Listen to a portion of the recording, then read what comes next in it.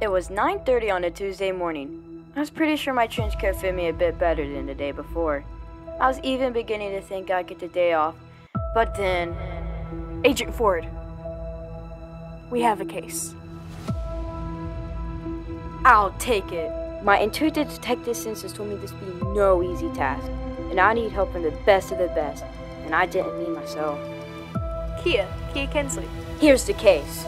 Look, look at these car wrecks. These cars were made by Ford, Kia, and Honda. They bought their frames from Magna, yet these people lived? How do you think these people survived?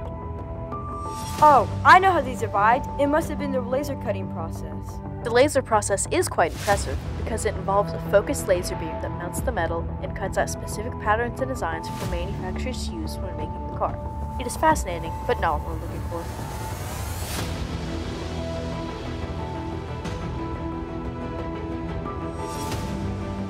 Okay, then it has to be the heat stamping process.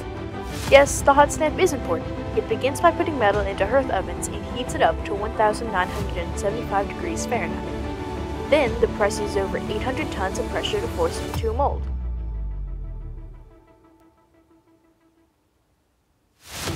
This gives the car flexibility, strength, and makes it lighter. In fact, it even saves money because the cost of material is lower. However, that's just a part of the solution.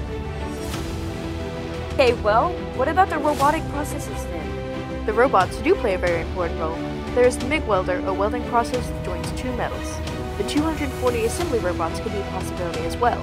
But could the welding assembly bots really be what we're looking for? I've got it. This case was not a matter of what, but who.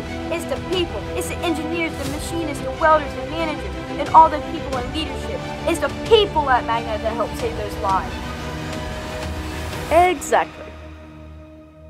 7.45 on a Wednesday morning, and just when I thought I'd get a day off. Agent Ford, we have a case.